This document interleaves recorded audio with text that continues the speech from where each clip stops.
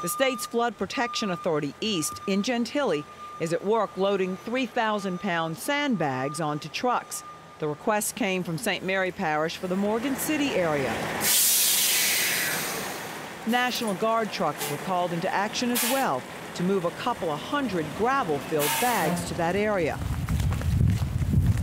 Here in the metro area, they are opening the 150 floodgates they closed and inspecting for levee problems caused by Barry. There's been no problems. We've seen no signs of damage or any issues. Some areas are still too wet to get to, but we didn't see water uh, from the surge or the river that really went up against any of our structures in any significant way, if at all.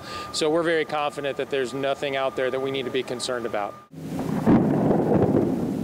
On the federal side, inspectors from the Army Corps of Engineers started looking for damage across Louisiana this morning. We've seen a couple of sides worsen a little bit. We've seen um, some sod cover that's gotten affected from the overtopping, uh, but that's over in the Atchafalaya Basin. None of our Mississippi River levees overtopped. They stress here in the New Orleans area, the levees are unaffected by the storm, even with the high river.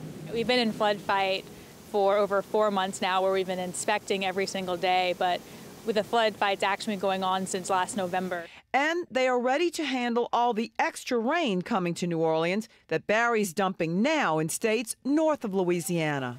Fortunately, the Mississippi River has been dropping over the last couple of weeks. So we've got some extra storage to cover the rain that Barry is dropping. So it won't prolong our, our flood fight down here too much longer. It'll probably extend it another week or so.